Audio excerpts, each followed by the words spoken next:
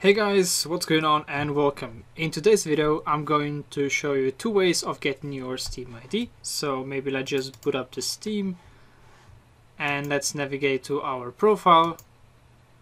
You can do it two ways, one is through here and one is through here. So the next thing is we can click on our edit profile and then we can navigate to the custom URL. So instead of custom URL, your ID shows if you don't have a handle. This is what a handle is.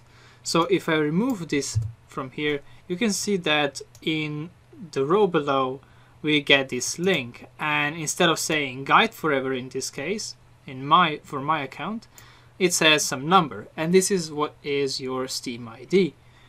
So in fact, there is 17 characters, I believe, which is Steam ID 64. But I think it's really relevant which one you get. You have Steam ID 32, 64. Basically, that is your Steam ID if you're looking for. Now, another way of getting it, and for any account for that matter, is by opening your browser and then searching for Steam ID Finder. So this is a website. I'll also link the the link in the description, but you can type in your name. So in my case, I can type in Guide4Ever and that will also be able to find it. You can enter Steam ID and you will find all the information about this account.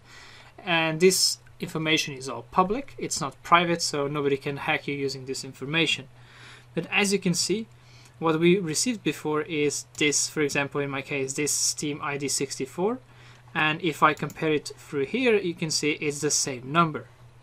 And I've also received some other information as well. So I got my actual Steam ID, so this is just the basic one, SteamID3.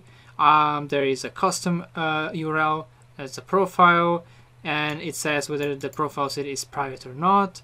Uh, even though I'm not sure why it says private, since it should be public. Um, and then when the account was created, so my account was created in, 2000, in 2013, so quite far back. And the name is something new, so it hasn't updated um, it also says lost update 27 minutes ago. I changed my name 5 minutes ago, so let's refresh the information. And instead of here, I think I should be able to see my name, which is Guide4Ever now. Oh, and there it goes. And then there is no real name, and you can also find the location. So this is a really useful site for this type of things. I hope you guys enjoyed. I hope you got your Steam ID. If there is still an issue that you're having, make sure to comment and I'll answer as soon as possible. Other than that, I will heavily appreciate if you guys decide to like this video and uh, subscribe. So until the next time, I'll see you.